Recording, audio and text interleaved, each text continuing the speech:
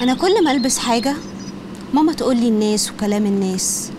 ألبس قصير تقول لي عيب هيقولوا عليكي مش كويسة. ألبس قميص وبنطلون تقول لي هيقولوا عليكي مسترجلة. وتفضل تقول لي سمعتك سمعتك. أنا بجد ما بقتش فاهمة. هو اشمعنى البنت هي اللي بيطلع عليها سمعة والولد لأ؟ ده أنا أخويا خاربها وأمي ولا هي هنا. طب وإنتي ما بتخافيش يطلع عليكي سمعة بسبب لبسك ده؟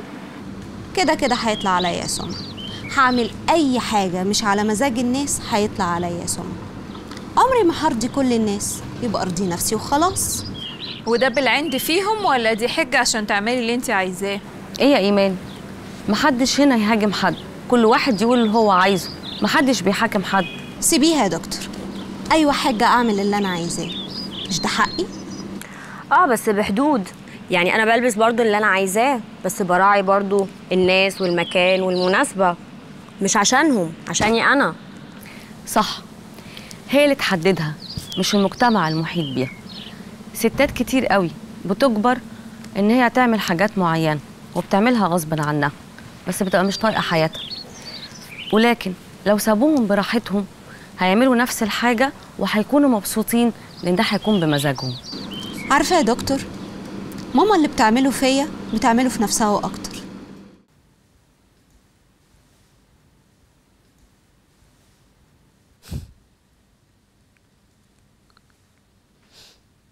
ماما. يا ماما. يلا يا ماما هنتأخر. يلا.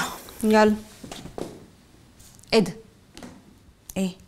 إحنا مش قلنا هنقلع الأسود. يا يا ماما بقالي خمس سنين لابساه. ماما الحزن في القلب. عارفة يا حبيبتي بس أنا لو غيرت الأسود ولونت هيقولوا عليا مليون حاجة. انت ناسية إحنا قابل مين النهارده؟ يوه يا ماما ما يقولوا اللي يقولوه لا يا حبيبتي ما ينفعش. الكلام بيدور ويلف.